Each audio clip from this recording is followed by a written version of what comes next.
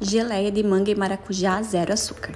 Em uma panela inclua uma manga picada, ligue o fogo e acrescente 100 ml de água. Com a ajuda de uma colher esmague bem a manga e deixe ferver mexendo de vez em quando. Acrescente duas colheres de xilitol. Misture bem. Inclua duas canelas em pau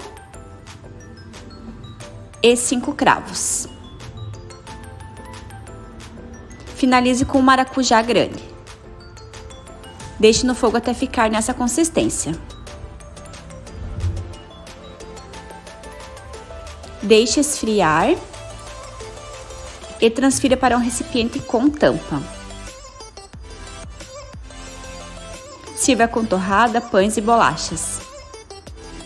A minha escolha foi uma bolachinha sem glúten. Bom apetite!